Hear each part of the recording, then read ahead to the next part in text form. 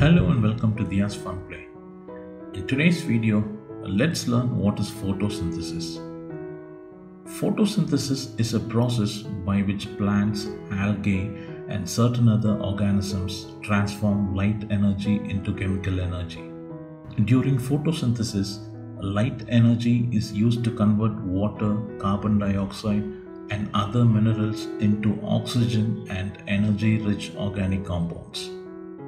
Plants store these energy rich organic compounds in the form of sugars and later use this energy for cellular activities. Photosynthesis is essential for life on Earth. Humans depend on plants for oxygen and food, which is made through photosynthesis. So it's clear that humans cannot exist without photosynthesis. Photosynthesis takes place in cell organelles called chloroplasts. These organelles contain a green colored pigment called chlorophyll, which is responsible for the green color in leaves.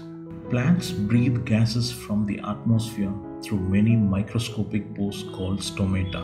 Stomata is made up of a bean shaped circular pore surrounded by a pair of guard cells that can swell or shrink to open and close the pore. Stomata are usually found on the plant stems and underside of the leaves to protect the pores from dust and harsh sunlight.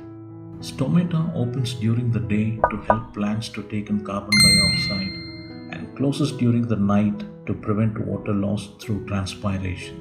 During photosynthesis, carbon dioxide enters through the stomata and water is absorbed by the roots from the soil and carried to the leaves through the xylem vessels.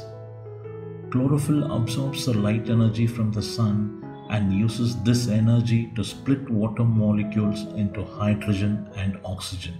This hydrogen from water molecules and carbon dioxide absorbed from the atmosphere are used in the production of a simple sugar called glucose.